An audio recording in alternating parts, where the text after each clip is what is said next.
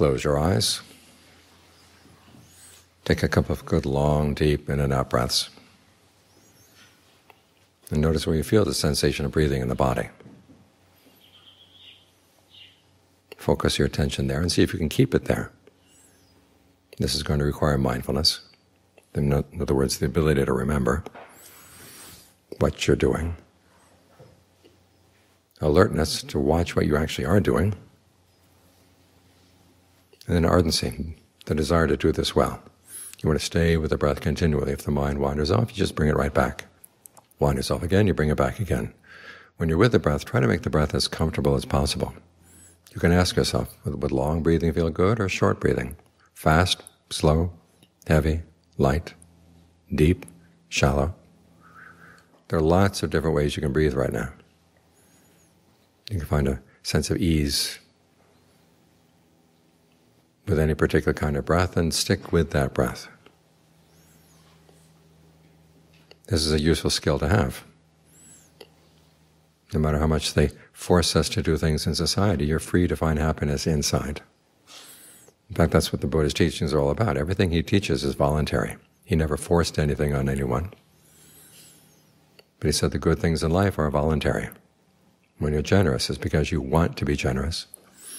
When you observe the precepts, that's your choice to take them on. They're not commandments. Meditation is not forced on you.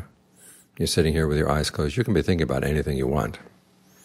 There are no thought police that are going to grade you down for not focusing on the breath. But if you've decided that this is what you want to do, you want to develop concentration, okay, give it a try. And always keep that attitude in mind, that you're doing this because it's voluntary. As with generosity. When the Buddha is talking about the, the value of generosity, it's mainly with acts that are voluntary the ones that you choose to do. When a king came to the Buddha one time and asked him, where should a gift be given? The Buddha said, where you feel inspired. In other words, it's up to you to decide that you want to be generous. And that's your ex first experience of free will.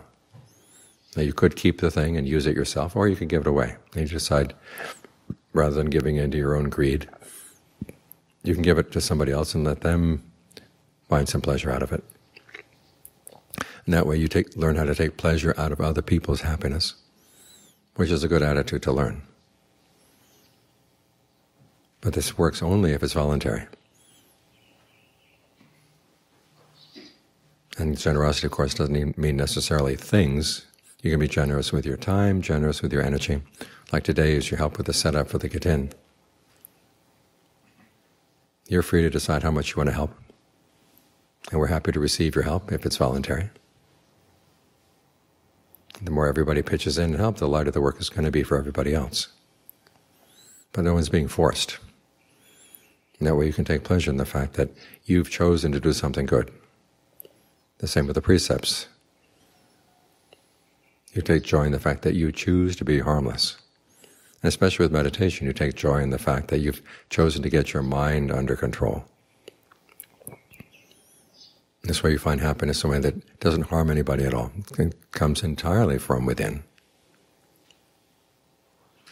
And when people look for happiness inside, that means their happiness doesn't have to conflict with anyone else's true happiness, which is how we can live together in the world.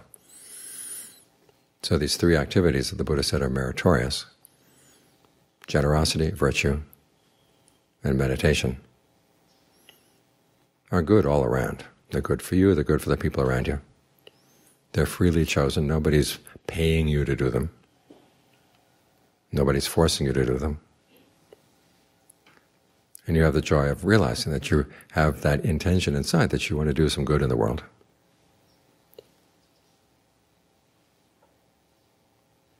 So learn how to take pleasure in that, that fact, because that's going to be a lot of the, your sustenance as you go on the path, the fact that you've chosen it yourself. You choose to stick with it on your own free will. And you get a little taste, at least, of what real freedom can be. It's not just following your whims, it's setting up a determination, being free from the parts of the mind that would hold you down.